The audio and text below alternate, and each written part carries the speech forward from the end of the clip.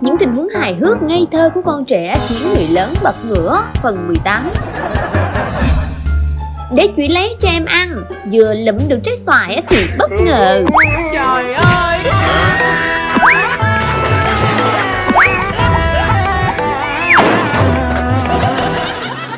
Cánh cửa rớt ra làm hai chị em giật mình bỏ chạy.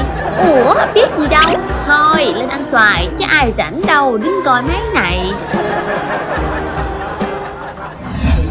Tiếp theo bé gái khóc méo máu đi tìm chiếc dép. Bà đang đứng kể lễ á thì Ôi dép đâu rồi?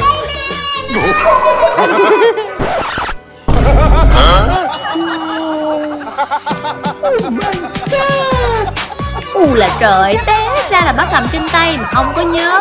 Cái mặt vừa mừng mà vừa quê Làm bố mẹ cười không có nhặt được mờm luôn á trời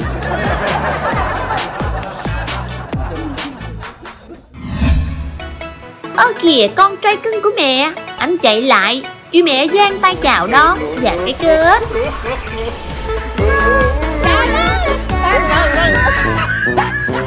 Ảnh lướt ngang như một cơn gió, ôm chầm lấy ông ba, Mặc cho chuyện mẹ quê một cục trà bá. Hình như mày làm con tao hơi lâu rồi đó, con trai à